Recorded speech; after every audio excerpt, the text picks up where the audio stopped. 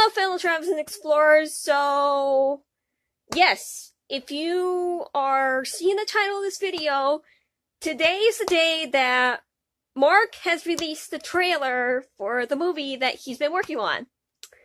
And it caught me by surprise. And it, it caught me by surprise indeed.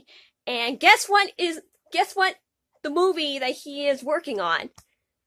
It's the Iron Lung. Yes, this is actually based on that horror game that Mark played last year, and now that is gonna be turned into a movie. I was immediately surprised that that Mark decided to work on this one particular video game and turning it into a movie. And we all thought that Mark was actually going to be in the FNAF movie, which we all thought, but he's actually going to be working on this one indie indie horror indie horror video game. So, Mark, we all are very proud of you of what you have gone so far. I mean, you you worked on so many videos, including YouTube originals, and now you're doing your very first featured film. Mark, we are all very proud of you.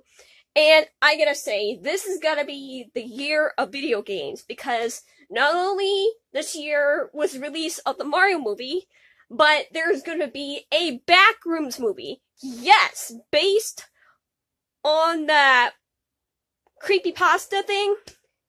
And now this, the the Iron Lung. So this is definitely the year of video games. And now as we all know, the FNAF movie is coming out this year, which I am really excited for it.